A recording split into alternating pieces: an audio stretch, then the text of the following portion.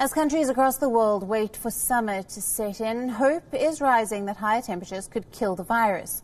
Now, in the United States, where more than 468,000 people have been infected, people are anticipating wet and hot weather to help slow down the virus spread. However, the country's top researchers at the National Academy of Science have warned otherwise. A report released by the National Academy of Sciences not, a not for profit organization in the US to the White House is predicting that this summer's warmer and hotter temperatures will not be able to help limit the spread of the novel coronavirus.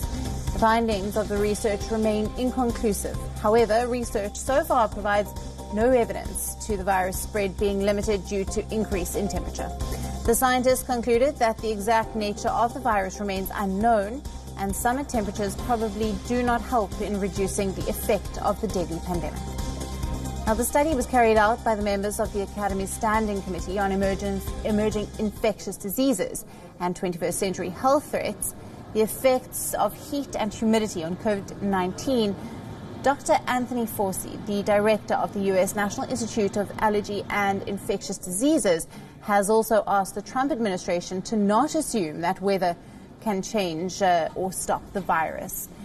Now, uh, addressing the press, he also said, and I quote, the virus will continue to do its thing. Scientists at the Academy of Sciences are still trying to understand if touching shared surfaces is a major driver of novel coronavirus.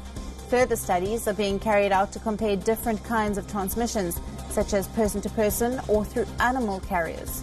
But the main factor of how this virus could react in different environmental conditions is still to be ascertained given the very little information available.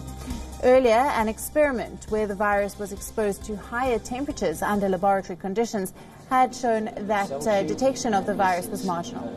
And researchers also claimed that after 30 minutes at 56 degrees Celsius, no infection from the virus had remained.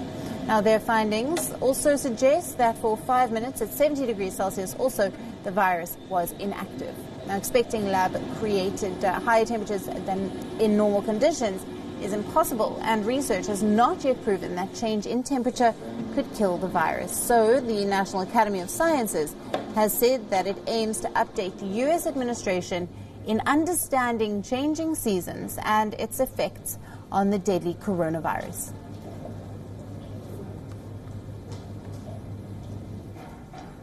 With the threat of coronavirus infection looming large over its drivers, even when the lockdowns across the global cities are over, cab aggregator Uber plans to ship millions of face masks to its drivers and food delivery people around the world. Now, Uber will source face masks from all over the world as a long term commitment, and the initial face mask order will come from a Chinese company that manufactures electronics and now produces ear loop masks. Uber has already shipped its first order of masks to drivers in New York City, the U.S. city with the highest number of infections of COVID 19. Now, ride hailing demand has grinded to a halt in most U.S. cities, with a majority of Americans now under some form of lockdown. But Uber said it has seen a significant increase in restaurant food deliveries during the pandemic. Uber would also begin shipping disinfectant car spray at no cost to its drivers in the United States. The US government has recommended Americans wear cloth face coverings on a voluntary basis to stem the spread of the coronavirus.